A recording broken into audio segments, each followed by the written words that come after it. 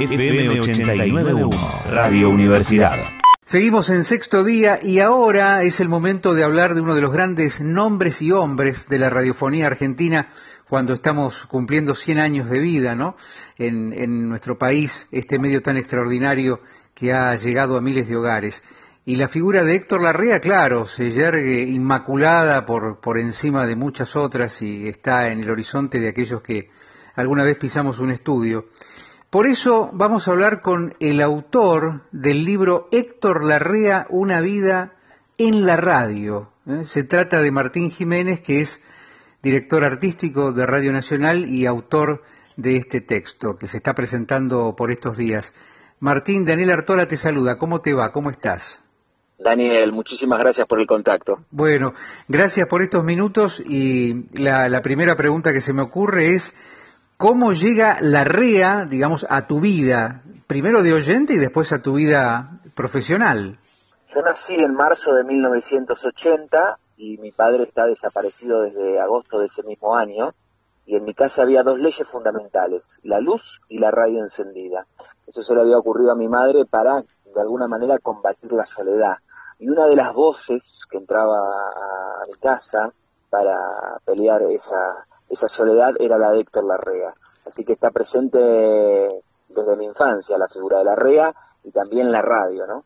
Me imagino que le habrás comentado esta situación familiar a él y, cómo habrá reaccionado. Fue muy fuerte, ¿no? Acompañar en un momento eh, de tanto dolor.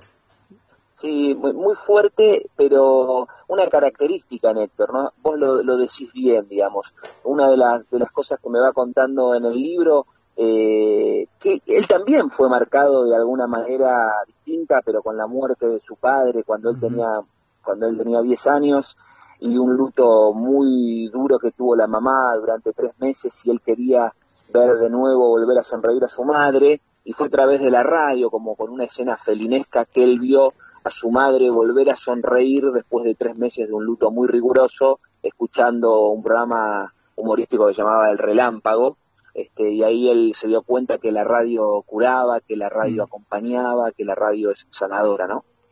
Claro, es una es una manera de seguir adelante, ¿no? La, palabra de moda resiliencia, ¿no? Eh, a través de, la radio. Y, y, con respecto a la hora de abordar una vida tan intensa, ¿cómo fue eh, organizar el material, el acceso a fotografías, archivos? Mira, eh, la Argentina tiene una deuda muy grande con el tema archivos, eh, por ejemplo, en, las tantas grabaciones y, entrevistas y charlas eh, sin cassette que tuve con, con Héctor, digamos, me decía, bueno, una entrevista que le hice a Nini Marshall o una entrevista eh, que le hice a Nelly Omar o el momento, por ejemplo, Héctor este, arranca en Radio Rivadavia el 11 de marzo de 1973, las elecciones de Cámpora, ¿no? Que lo llevan al triunfo y él en realidad arranca el 12, el lunes 12 arrancaba rapidísimo en Radio Rivadavia, vespertino. Y el director artístico de ese momento, Carlos Infante, le dice, pero ¿por qué no te venís el domingo y haces el pase con, él, con, con Carrizo y te presentamos al aire? Bueno, no, no hay grabaciones de eso, no, no, hay un archivo sonoro eh, que tenga esas grabaciones, de, hay, hay muy pocas cosas. Claro. Así que fue un, sonoro sobre todo, ¿no? Hay mucho en la hemeroteca, de tanto de la Biblioteca Nacional como en la del Congreso, de las, no sé, más de 3.000 notas que leí de Héctor, imaginemos que es una persona pública y de mucho protagonismo en nuestra historia desde la década del 60. Claro, claro.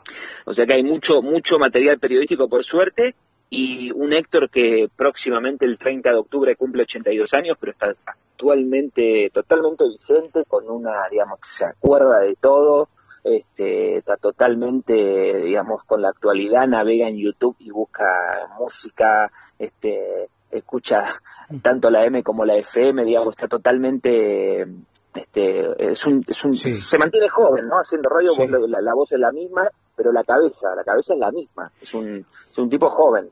Sí, eh, se, nota permanentemente cuando uno lo escucha. Él está ahora trabajando de manera, bueno, remota, ¿no? Eh, claro, por, radio folclórica. Mm.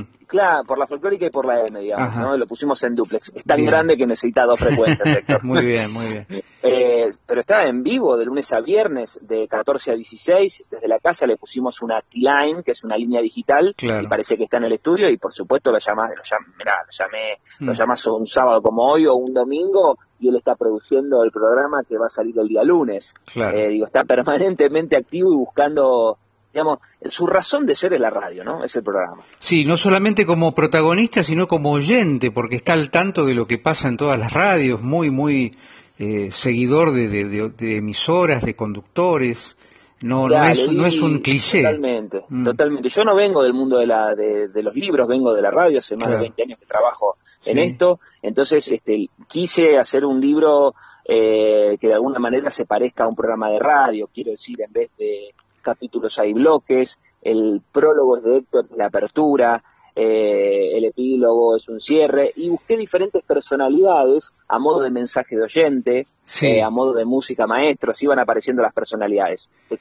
digamos, avalando lo que decís, Julieta Pink, que escribió para el libro, trabaja en, metro y medio, en la, en la metro, digamos, en una radio de FM, que vos podés decir, bueno, no es una radio que escuche un tipo de 82 años. Claro. Héctor escucha ese programa y sabe las secciones que tiene, y escuchaba la rock and pop, digamos, es un conductor de, traje de, saco y corbata, digamos, como todavía sigue sin corbata, pero ya va, pero va con camisa y con saco y lo escuchan este las nuevas generaciones que van con un chino y una remera, ¿no? Claro, y, después además la permanencia y la continuidad laboral, que bueno, eh, es algo muy importante y que pocos pueden conseguir, ¿no? una, especie de elegidos. ¿Cuál es el aporte de, la REA para vos en, la radiofonía, teniendo en cuenta que, bueno, conviviste con él y convivís día a día? Y un rol fundamental, ¿no? Ese, ese, ese tono arriba que siempre tuvo, él marcó este, un molde de un estilo de conductor, ¿no? Mm. El estilo de la REA yo creo que atravesó el género radiofónico, ¿no? Muchos este, encontraron en la REA un faro, un espejo para poder encontrar su propio estilo, ¿no?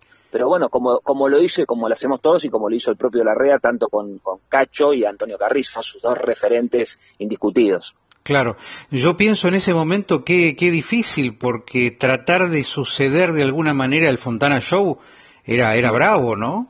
bueno, él lo tenía, eh, claro, Héctor era muy intuitivo, como te decía hace un ratito, cuando él arranca en Rivadavia, ¿por qué arranca por la tarde? Porque Cacho se va el Fontana Show decide irse y lo, cuando lo convocan a Héctor le ofrecían hacer el reemplazo del Fontana Show. Y él dijo no acepto ni loco no no no voy no voy a ir en porque era imposible él no podía te diría que la REA puede ser era, era podría ser el presidente del club de fan de, de del Fontana Show, lo escuchaba todos los días, era un fanático de Fontana, eh, en un encuentro muy lindo que, que está contado en el libro, eh, Cacho visitó los estudios de Radio Nacional y la Rea le cuenta esto. Decía, yo me, los programas antes eran, se, usaba que los programas iban de lunes a sábado, ¿no? Los programas de matinales. Claro, Y un, un, sábado estaba pintando la casa de la Rea y se se salió corriendo a comprar una radio porque se encontró que no tenía radio y no podía no escuchar a, Cacho, no podía no escuchar el Fontana Show, ¿no?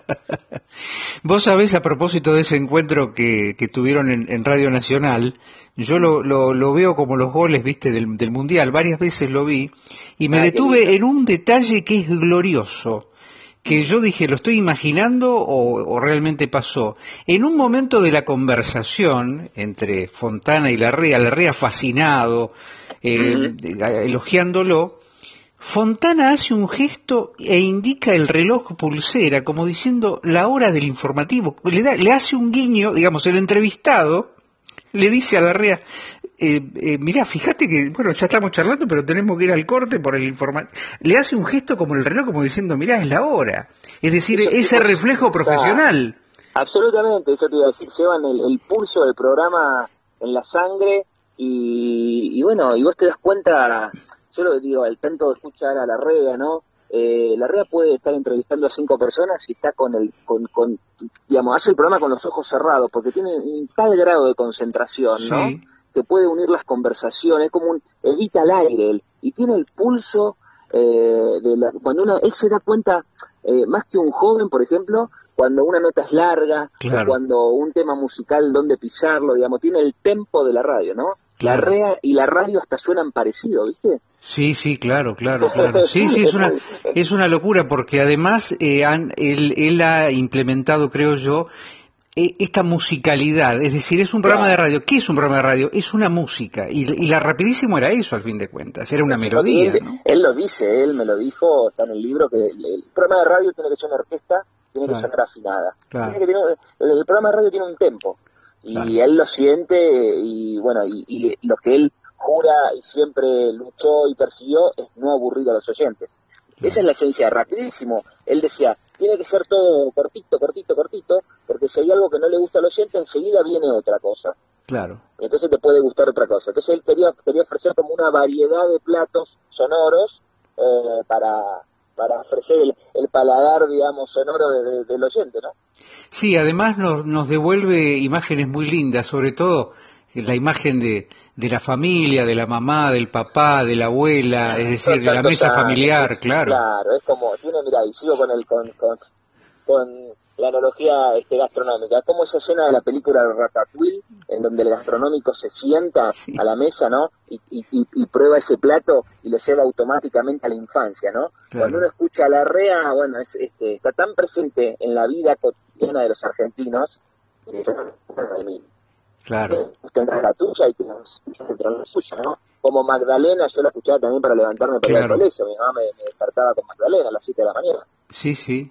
Sí, bueno, a mí me ha quedado, por ejemplo, el, el, silbido de Julio Lagos, del programa de Lagos, digamos. Bueno, por ejemplo, Esas cosas, ¿no? De, de, aquellos, es la de aquellos emotiva, años, ¿no? Sí, es la memoria emotiva que nos transporta a eso, que es, muy, muy conmovedor. ¿Y cómo eh, puede hacer la gente para conseguir el libro, Martín? ¿Cómo es el recorrido? Está en, todas las librerías del país, eh, lo publicó Gourmet Musical, hay que ser bastante héroe para publicar un libro hoy en este contexto. La, gente la gente de Gourmet Musical este, me, abrió las puertas y me recibió, alguien, insisto, que no viene del mundo de, los libros, y es una editorial que tiene distribución en toda la Argentina, así que en cada provincia, eh, en, todos lados, ya está en las librerías, lo pueden encontrar. Se llama Héctor Larrea, Una vida de radio. Bueno, Martín, indudablemente vamos a leer y lo vamos a, escuchar ese libro, ¿eh? como decís vos, eh, este, indudablemente. Gracias por estos minutos, un abrazo grande. Gracias a vos, Daniel, abrazo. Pasó Martín Jiménez, autor de Héctor Larrea, Una vida en la radio. Desde la Universidad Nacional de La Matanza, Radio Universidad FM 891. Siempre cerca.